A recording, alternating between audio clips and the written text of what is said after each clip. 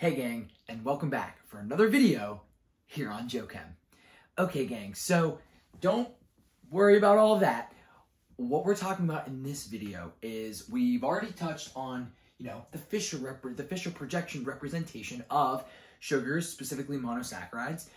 But these Fischer projections, you know, while they're convenient to look at, look at, convenient to draw, in actuality, in nature especially, sugars love existing in a cyclic, you know, structure. They love, and while they do represent, you know, are in a straight chain form some of the time, overwhelmingly, there's an equilibrium that majorly favors the cyclic form of carbohydrates, monosaccharides. So what I want to talk about is, and luckily this is already something you know, all it is is hemiacetal formation, right? So you already know this mechanism, you already know this reaction, but we're just going to apply it to a new scenario than you, you previously did when we talked about aldehydes and ketones, when, when we did that chemistry.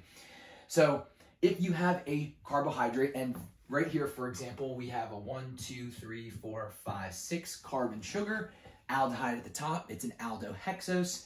It's a D sugar because we know the last carbon at the bottom, farthest away from the top. Uh, OH is on the right-hand side. So we know it's a D sugar, and this one in particular is D-glucose, okay?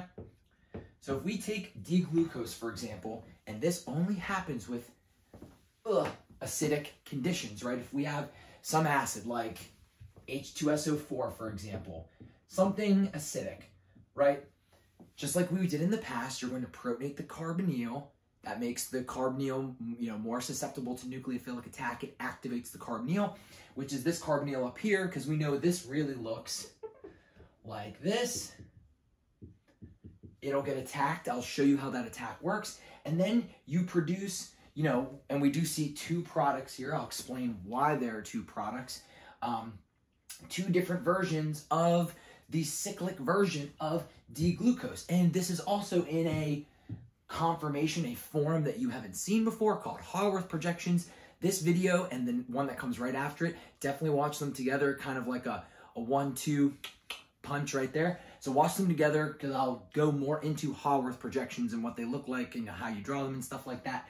But for this video, I just want to focus on the hemiacetal formation, right? So mechanistically, if we actually want to draw what this mechanism looks like, just like we mentioned, the very first step, and I'm going to cheat a little bit because of, um, you know, limited whiteboard real estate. I'm going to draw sulfuric acid. And again, you don't have to use sulfuric acid. It can be any acid, generic acid, right? The very electronegative carbonyl oxygen is going to get protonated, right? That's what the job of this acid right here. Now, it's very important to note this is going to happen, you know, in equilibrium. So I'm to kind of draw the mechanism kind of down and around. So we have it first is a carbonyl oxygen that now has a plus charge. I'm to draw these arrows a little bit smaller. Maybe we'll do them in blue just to keep our things straight. So here's the most important part next, right? Because this mechanism is not very long. It's very short. We only just do one attack. So really the only thing that changed here is I've now protonated the carbonyl oxygen. So here's the uh, interesting part. So you can see in the product that, I tried to denote it here, this is the carbon that's now susceptible to nucleophilic attack. I'm dotting it on purpose, right? Because I dotted this carbon over here. So it's this carbon that gets attacked by a nucleophile. What is that nucleophile? Well, we are forming a one, two, three, four, five, six membered ring. Same thing on the other one. So if we count six away from here, one, two, three, four, five. The thing is, is we don't, you know, we don't go to the end of this chain here. That would give us six and seven. So you might be scratching your head thinking, what's going on? And I don't blame you. What's weird is that it's the alcohol that determines that, that determines D or L-ness of a sugar. That's the one that does the nucleophilic attack. It's just six positions away. It's what gets us that sweet, sweet, sweet six-membered ring conformation. So, in my opinion, here's what I like to do, and you'll get better at doing this in your head the more of these you do. I, for the sake of, you know, just because, and you'll see, especially in the next video when we draw Haworth projections and do more practice with that, I like to have my nucleophile on the end of my Fischer projection because that kind of sets it up nicely for drawing your Haworth projection. So what I like to do, this is not an official arrow, but I like to do a double switch. I want to put this OH down here at the bottom. So the first thing I mentally do is I switch these right here, okay? So that would give me, I have an OH here. I have my CH2OH on the right-hand side. And remember, this is only a single switch. So what I've just done was invert the stereochemistry on my sugar. And I will not stop here. So I've done that single switch. I've inverted stereochemistry. So then the next thing that I do is I'll switch, you know, I'll switch the hydrogen and this. And I'm just going to do that right here on this step right here. So I'll have a CH2OH and then I just have an H over here. So these two structures are now equivalent. All I did was a double switch around the last carbon right here to get the OH on the bottom. Because now what I can do is attack like this. Elect oh, and I forgot to draw this. It's protonated oxygen, electrons kick up. This is your hemiacetal formation. This is the step that is super duper amazingly favorable because you go from, you know, there's a few things. You trade, you know, a pi bond here between carbon and oxygen for a new sigma bond between carbon and oxygen, so it's an enthalpic benefit. But nature loves six-membered rings. Zero ring strain gives you a guaranteed 109.5 degree bond angles. It's intramolecular. All these great things going for it. So this is when you kind of adopt this Haworth projection, which you'll get more of that in the next video, but what it essentially is, is you kind of big bad wolf this. You just blow this Fischer projection on its side like this, just like that.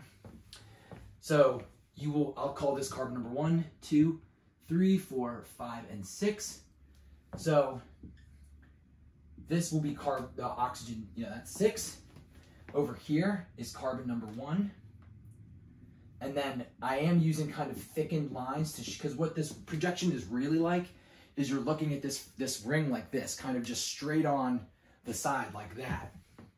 So these are almost supposed to be wedges if you can, you know, picture if that makes a little bit more sense to you. So that's our first carbon. Then we have our second carbon, our third, our fourth, and our fifth, and then the sixth.